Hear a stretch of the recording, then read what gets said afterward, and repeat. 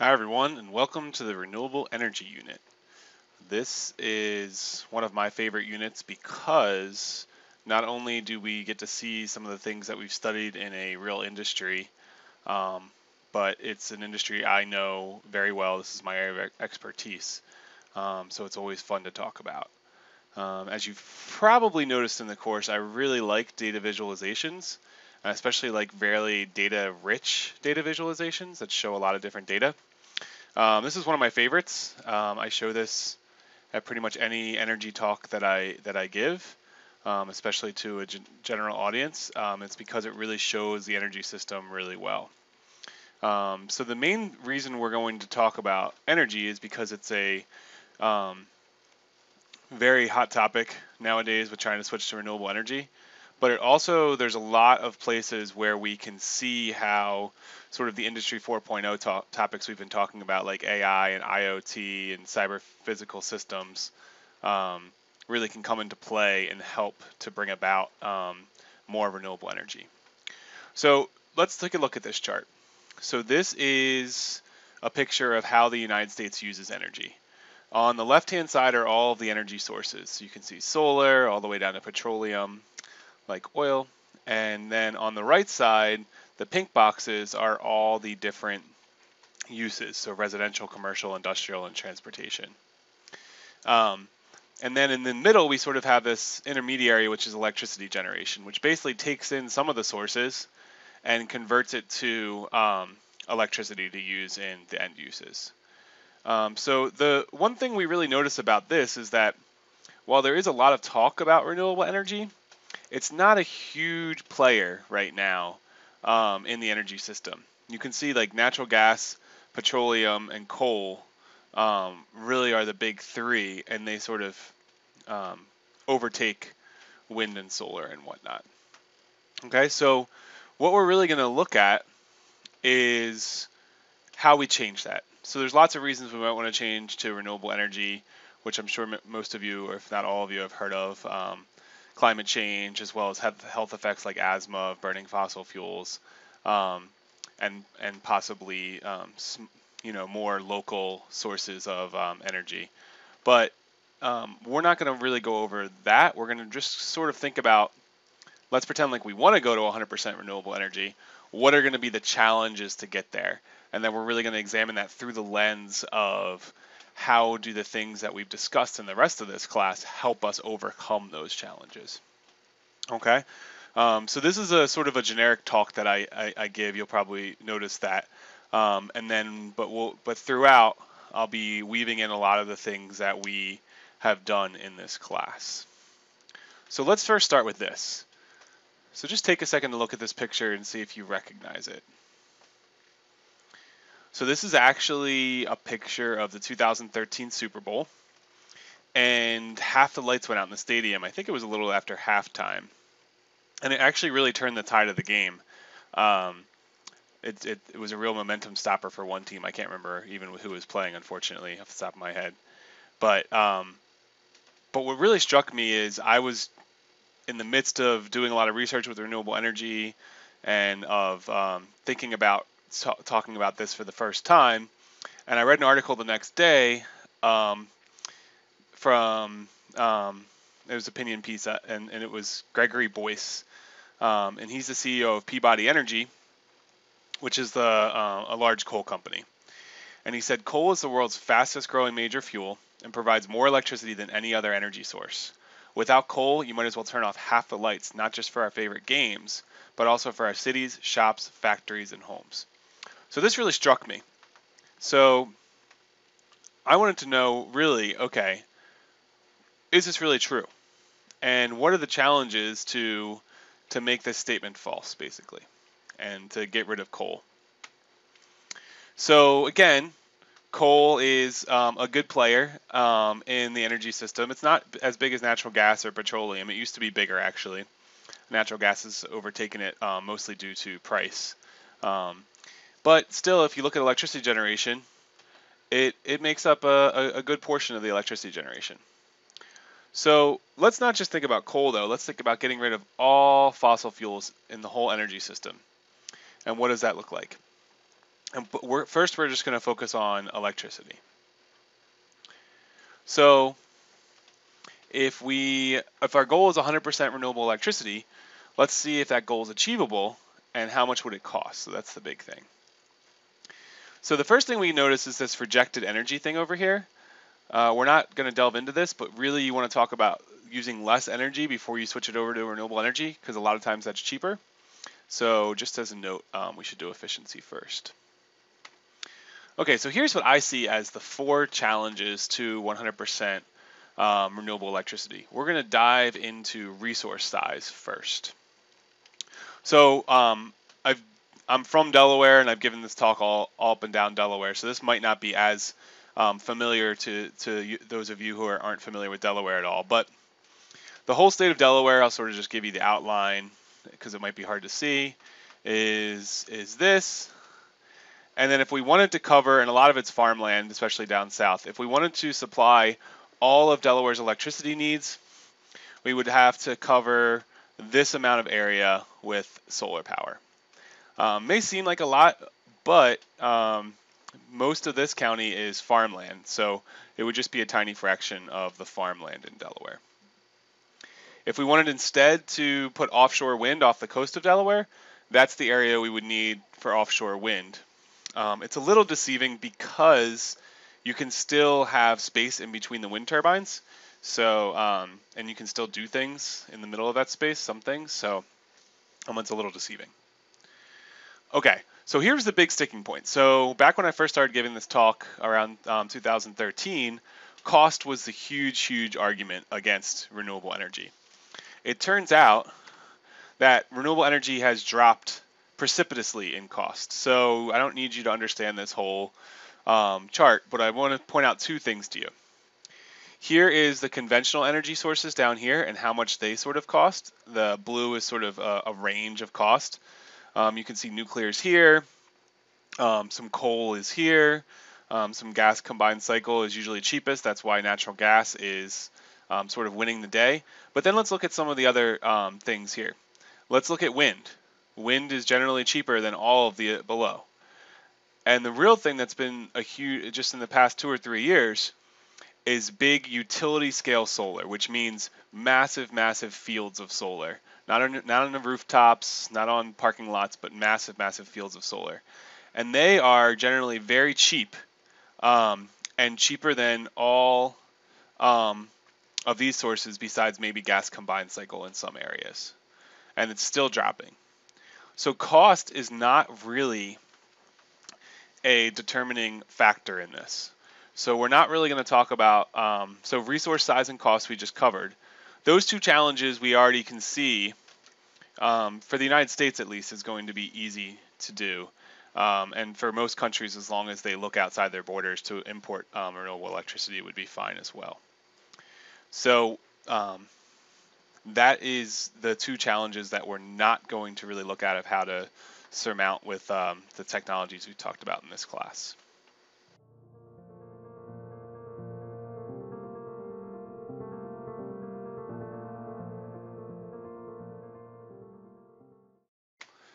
Okay, so now we're going to talk about the, we talked about resource size and cost in the previous um, slides, and now we're going to talk about intermittency of renewable generation.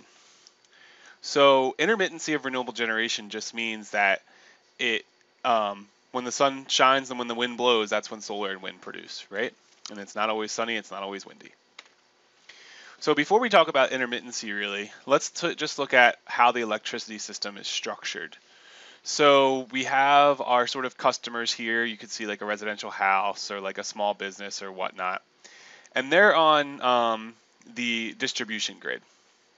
So they you usually see a substation or a, a, you know maybe near your neighborhood or something, and that converts the electricity from these blue lines, which carry really high voltage electricity, to lower voltage that goes into your home and whatnot. Um, and then we have what's called the transmission lines, which are much higher voltages and can go longer distances. Some big industrial factories hook right into this system, and um, and that's the idea of of those. And then we usually have the generation station that sort of goes off and, and does that completely. The big thing here is that the generating station, as well as all the users down the line, have to be completely balanced, completely and totally balanced. So what does that mean? What it means is it, you have to balance usage and generation. So if I'm using five units of electricity and the generator um, that I'm hooked up to is only producing four, it's going to be an issue. So the generator has to constantly go up and down depending on how I'm using electricity. Um, for fossil fuels, this is actually relatively easy because if we think about like coal or natural gas, with the case of natural gas, there might just be a little valve that I need to turn to feed more gas into the fire. That's um, how power plants work. We just light things on fire basically and then produce steam that turns a turbine. But for renewable generation, this is relatively hard, right? We don't really have that valve that we can control um, for renewable generation. Because, like I said before, it's depending on when the sun is shining and when the wind is blowing.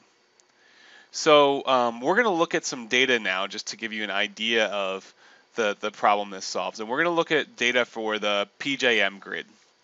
So PJM is something called um, an interconnection, which means that anywhere in this map with the blue, um, we are all take part in the same big regional grid. We do interact with other grids like um, the New York ISO, which is a little bit north of us, as well as the New England ISO and MISO, which is pictured here as red. Um, but we're just going to look at the data for PJM for this case.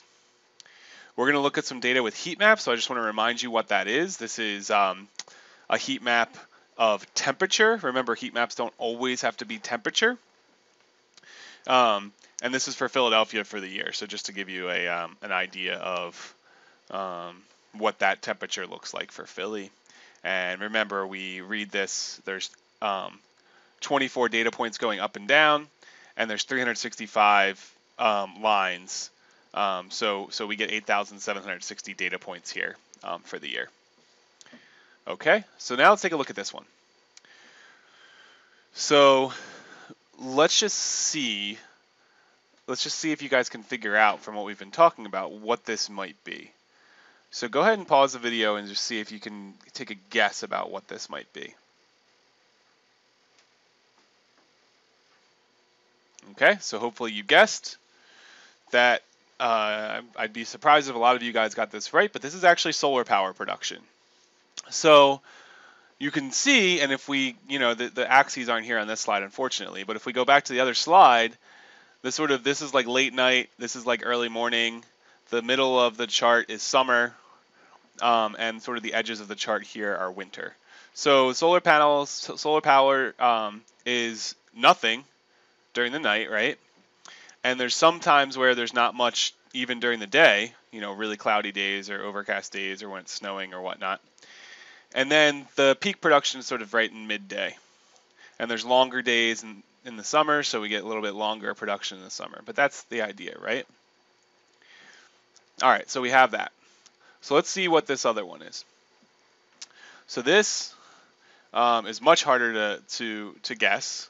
Um, but this is just in a scenario of actually some research that I've done about the least cost if we wanted to build a 100% renewable energy system. This is what our renewable energy production would look like with both solar and wind combined. So this is going to be sort of our hypothetical. We can build 100% renewable energy to cover all of our electricity needs. And this is the hypothetical um, generation of that. Okay, so it's better than solar power because it produces most of the time. There are some black areas still, which is a problem. Um, but that's the idea. So that's our generation side, right? And remember, we have to balance that with our usage. And that's what this is. Okay, so let's take a look. This is our usage, right? And what this shows, it's kind of like the school data we've looked at before. You can see these horizontal lines of, of lighter blue. That's actually the lighter blue are weekends. So just because, just like our school, we usually use less energy on the weekends. And then these big red blobs in the summer are probably really hot days or weeks where we're using a lot of air conditioning. Um, and sort of that's the idea. And then in this area, we use a lot of um, um, electricity for heat as well, and these are probably cold days where um, we're using a lot of electricity for heat. Okay, So that's electricity usage.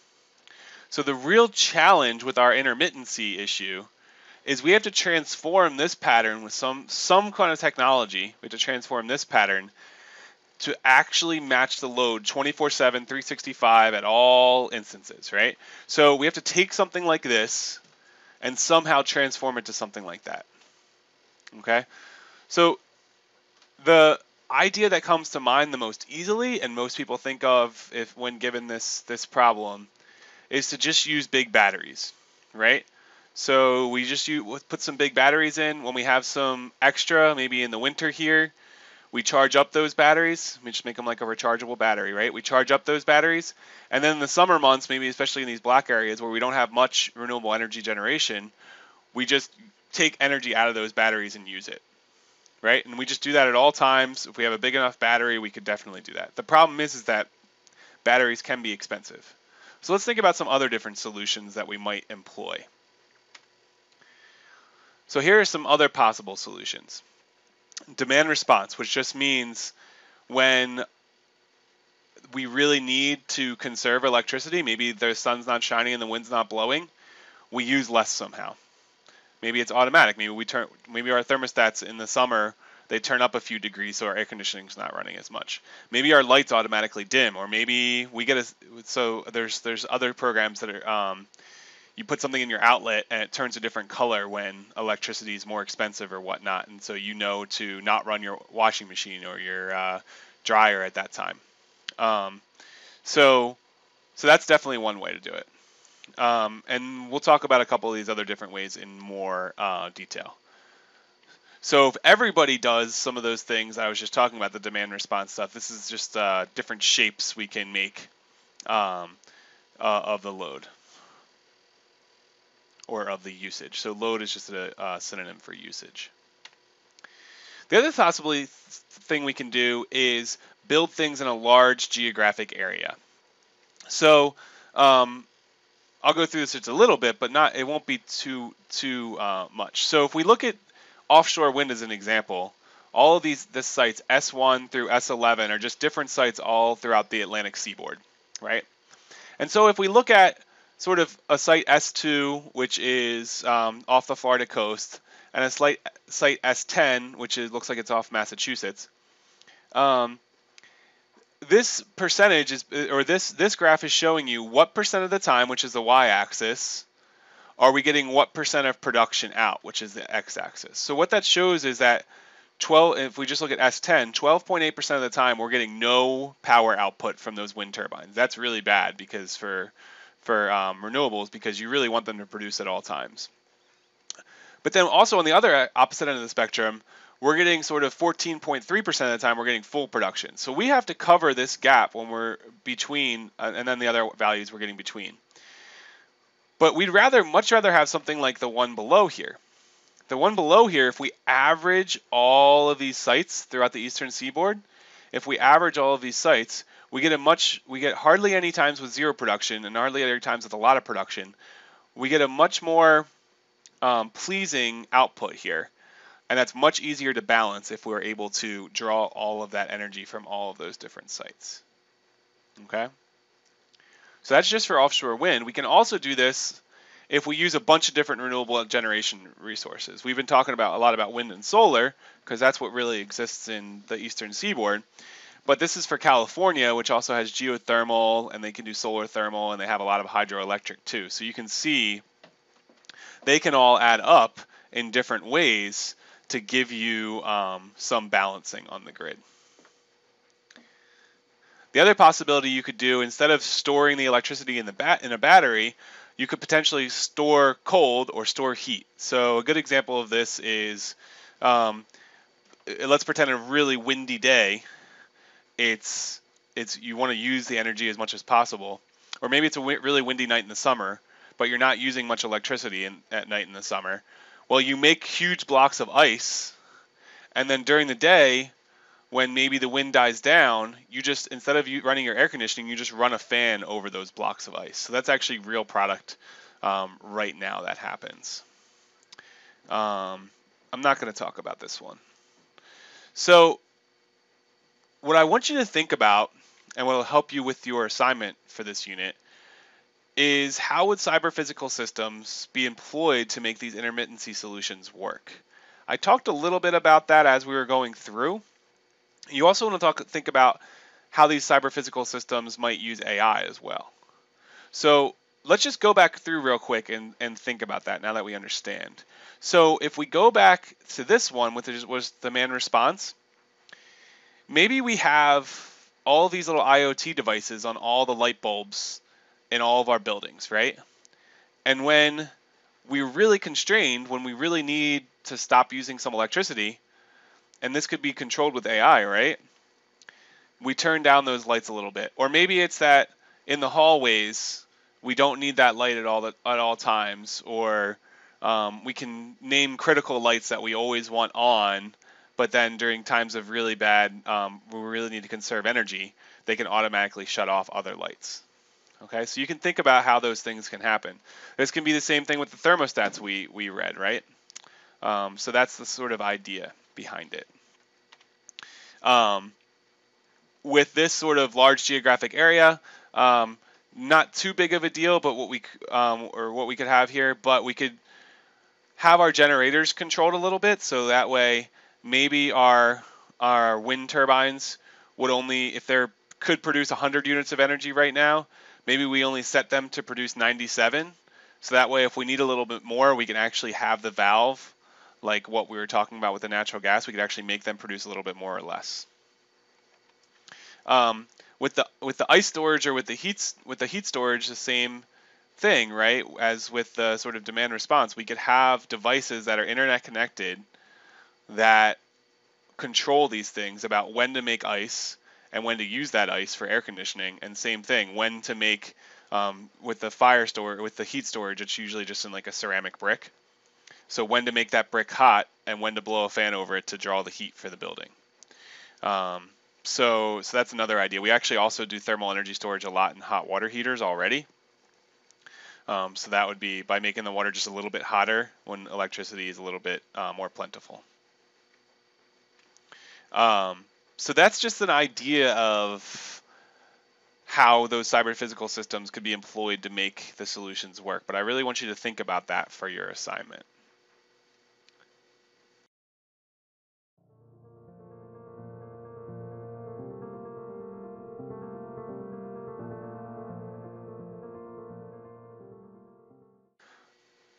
Okay, so we're still going to talk about some intermittency solutions. We're going to talk one about one that's not employed yet. So a lot of the ones I talked about before were already employed, maybe not on a large scale. Um, and this one is a little bit employed. It's actually, there's pilot projects being run throughout the globe, but nothing more than that. So this is something called, um, this technology is called vehicle to grid, and the vehicles themselves are called grid integrated vehicles. So let me just talk about what this picture is um, and, and what's going on here. So if we look here, these are the sort of generators of this system. So whether it's a nuclear power plant or a coal power plant or something like that, and wind, and they're all going in the transmission system, and then it's going in the distribution system, just like we saw in an earlier um, picture in this lecture. The ISO is that PJM, remember we saw the map of that? They're the sort of gatekeepers. They're the ones who control the whole system now. And so in this case, they, they have one more aspect of control. So a lot of times this ISO really controls the generators. That's what happens nowadays. But now they, they can have more control over different things. So for example, if we just look at this one car in our house, they could communicate to the one car in the house and they could tell the electric vehicle when to charge. So that would be, um, you know, maybe it's really, really sunny one day and it's a nice spring day, so no one's using electricity, no one's using air conditioning. So then you'd want to charge all the cars you could during that day, right? But the real power of, of what's called vehicle to grid is that they can also draw some energy out of the car as long as the owner of the car um, is okay with that, to help balance the grid when there isn't enough electricity being produced. So what they would do is say, hey, we'll pay you, you know, five bucks if we can just draw a little bit of your of your battery out. And that could, again, that is going to be controlled with some sort of cyber physical system there, right? And maybe it's a maybe it's that the owner gets a, a smart um, an, an alert on their smartphone, or maybe the owner says, "No, I don't really want to deal with any of that. I just want to be able to drive at X, Y, and Z times for X, Y, and Z distance or whatever it is." And maybe AI would take care of when to charge or when to discharge. Okay, so the idea here is that as long as cars aren't on the road driving, which a majority of the time they aren't, they can basically be used as the batteries about what we were talking about before. Okay, so that's what the vehicle to grid um, system looks like. So again, this is same same idea we just talked about this.